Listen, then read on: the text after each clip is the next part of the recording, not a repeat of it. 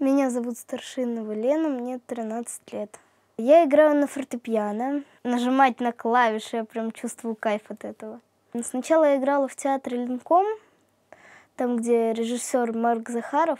Но я стояла перед всем залом, мне нужно было смотреть на, ну, на такой фонарь, там он прям мне в глаза светил, я вот так вот смотрела.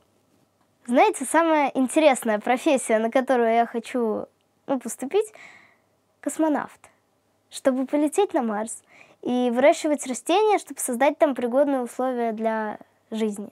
Но единственное, что не очень тогда мне придется заниматься ботаникой, а я ее ненавижу, терпеть не могу. Но я думаю, что моя самая, прям самая главная черта характера, наверное, честность, потому что я очень редко вру.